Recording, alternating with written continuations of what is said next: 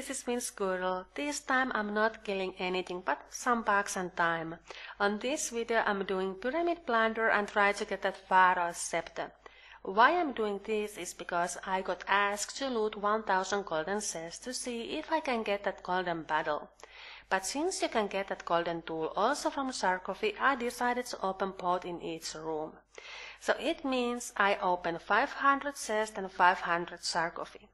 The chance to get that golden scepter is 1 to 1000 on both, so it might be that with those 500 I might not get any.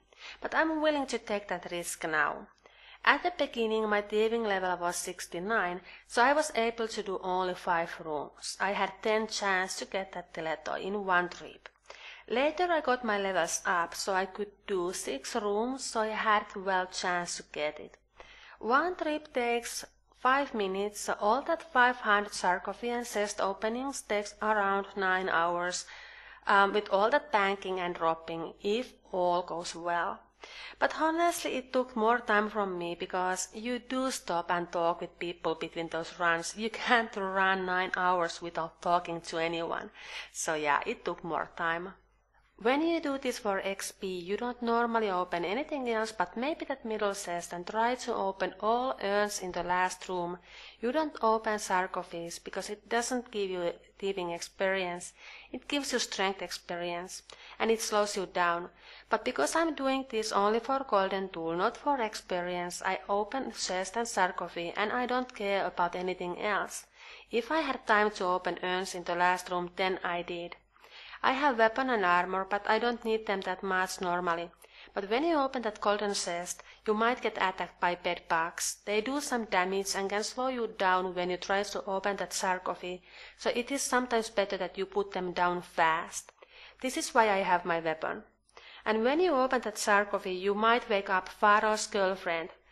She can hit you, but I think her nagging hurts more than hits, so we just do the same as Pharaoh did.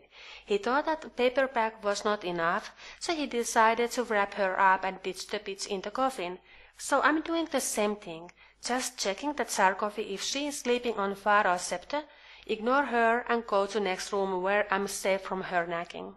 Also what is very important is to have space in your inventory because if you get a scepter and your inventory is full it drops on the ground and it would suck if you teleport away.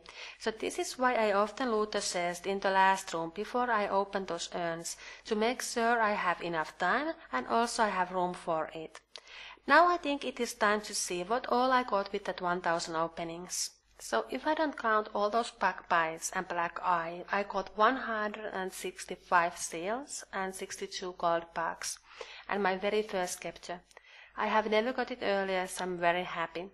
So even I was scared that I can't get it with that 1000 opening, I was very lucky after all. I got it after 844 opening. Now, if I sell it in our forums, I could get around 1.5 mil, maybe a little less, maybe a little more. Seals and packs people seem to buy in forums with 1000 to 2000 each. So if I sold them with 1000 and that scepter, I would make total 1.7 mil. Hmm, not bad. You can also sell those seals to Simon who buys packs for 1000 and seals for 750 gold. So if I sold seals and packs to him, I would make 185k. But I'm not going to sell them nor my Teletoy because I don't have one and I think it is very nice to have. It helps a lot when you want to change your spell book.